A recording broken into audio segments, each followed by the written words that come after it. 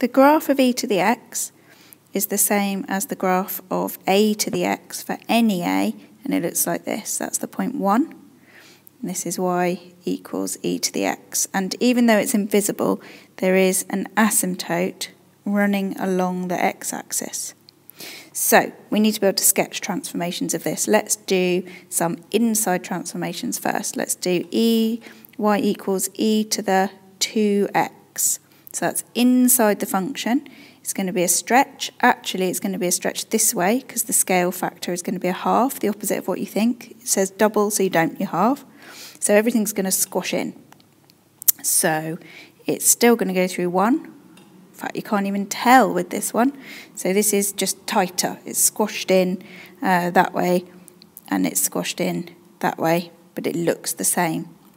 What about uh, y equals e to the x plus 1? Inside, left and right, does the opposite of what you think, so it goes left 1. So it's going to look like this again, but this isn't going to be 1 anymore because that's moved left 1. Let's see what it is.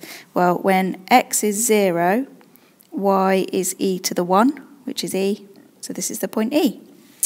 What else could we do? y equals e to the minus x. That's still inside, left and right, and it's going to be a flip over the, over the uh, y-axis. So it's going to come down like this, and this will be the point 1. Right, let's try some outside transformations. Okay, so here is our e to the x graph going through the point 1, y equals e to the x. Let's try y equals e to the x plus 1. Now, this is with these outside ones, up and downs, you do need to keep an eye on your asymptote and make sure that travels with the graph because it is part of the graph. So everything's going to go up 1, everything's going to go up 1, including the asymptote. So this is now at y is 1. The graph went up as well. This is now at 2. It looks like that y equals e to the x. Uh, should we times it by 2? Okay, so there's a stretch that way, scale factor 2. So the asymptote's still sitting there on the y-axis, and everything's going to get twice as steep. So this will now be 2, and everything, you can't really tell in terms of the shape, but everything's stretched upwards twice as far. Last one, um, minus e to the x minus e to the x. Again, this is outside and it's going to be a flip over the uh, x-axis. So it's going to end up with the asymptote there going woo down like that and that's minus 1 there.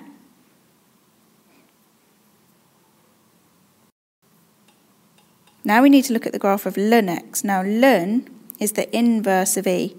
So it's, uh, the graph is a reflection over y equals x. So it's going to look like that.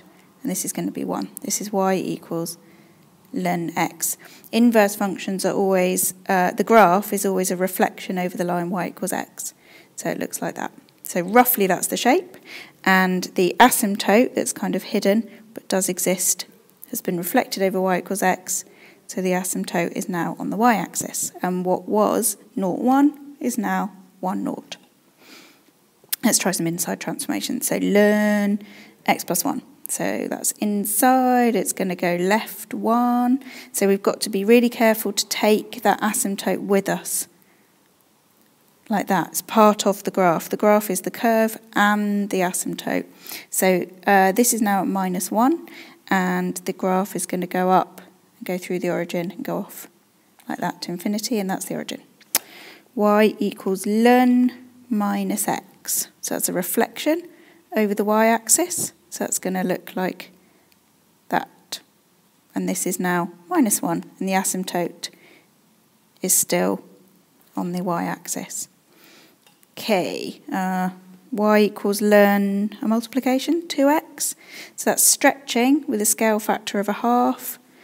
And again, you just you you can't really tell with these stretches the only way you can tell, you can't tell from the shape, but you can tell from the y-intercept, because that, uh, x-intercept, sorry, that will have changed to a half, because everything gets half as big. Let's try some outside ones. Here's the original graph, like this. It's got an asymptote down on the y-axis, goes off like that, goes up to infinity. It doesn't doesn't tail off to the right. I haven't drawn that very well. sort of more like this, going up. Not, yeah, it's a hard one to draw, to be honest, like that. And that's point one. So f of, uh, sorry, let's not use the f notation. Ln of x plus 1. If we wanted to sketch that, that's gone up 1. So the asymptote moves up 1, not that you can tell and everything else moves up one, not that you can tell. The only thing is, what is this? y is naught. ln x plus 1 is naught. ln x is minus 1. The opposite of ln is e to the power of, it's e to the minus 1. Okay, what about y equals ln x minus? So that's a flip like that over the x-axis. So it's going to still have its asymptote there, but it's going to go woo, like this, and that's the point one. So you don't really, the only new information you need is what does e to the x look like, what does ln x look like. After that, it's just all your normal um, C1 transformations of graphs knowledge coming in here.